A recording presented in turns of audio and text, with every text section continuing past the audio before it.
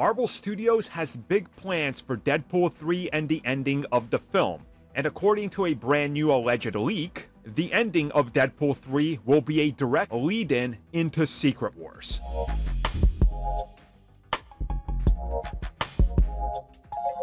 So, from everything we know officially, we are going to be exploring more of the Fox X Men universe in terms of Deadpool and Wolverine looking to recruit a couple more people while they're being chased by the TVA. Outside of that, we don't know much more, but rumors have suggested we're going to see a lot of the old X Men crew join or at least have some sort of supporting role slash cameo.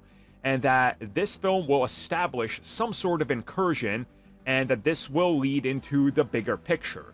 Now we're hearing that the ending of Deadpool 3 is going to be pretty big, aka it ends on a pretty major cliffhanger. From the reports that are out there that I've been able to see and kind of connect the dots, Deadpool and Wolverine will end up semi stranded in the MCU, not knowing if they can or will be able to get back to their universe. This is due to the fact that their universe will reportedly be destroyed, or at least that's the thought. This will then kind of leave everything in limbo up until we get to Avengers Secret Wars, where we find out that that universe was not destroyed. It was essentially just cut off from communication and they couldn't get back to it because they had no means of doing it. They were essentially locked out. And from what we're hearing, this is going to be the doing of Kang in that universe, who's reportedly also going to be semi villainous or be alluded to in Deadpool 3.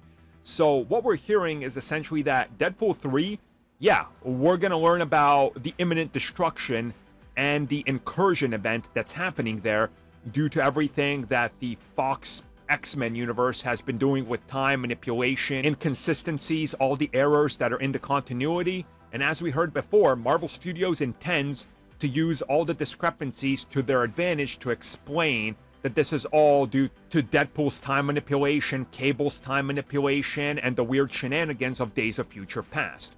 Which, if you really think about it, this all works. It makes sense, and it would honestly be a perfect way to set up everything and explain their own demise. And it's kind of almost like breaking the fourth wall, if you will, by stating, hey, you can keep your own film franchise and continuity in sync because you didn't know what you were doing, well, that ultimately led to its destruction. Like, you can see what they would be going for here with meta commentary, and I think it would be quite genius on their part.